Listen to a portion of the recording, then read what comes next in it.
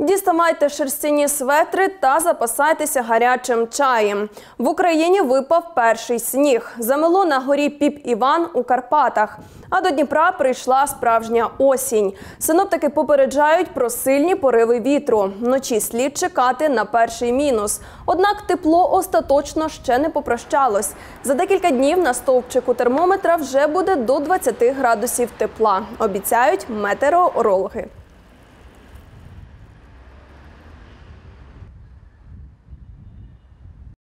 Сьогодні у нас вночі заморозки на поверхні ґрунту від 0 до 3 морозу. Вітер на завтра у нас е, до 12 метрів в секунду пориви. Без опадів у нас так. На 11 число у нас теж без опадів. Вітер не сильний до 8 метрів в секунду пориви. І також вночі та вранці у нас заморозки на поверхні ґрунту 0,3 морозу. Так, вже 12-го у нас е, в день до 20 тепла по області.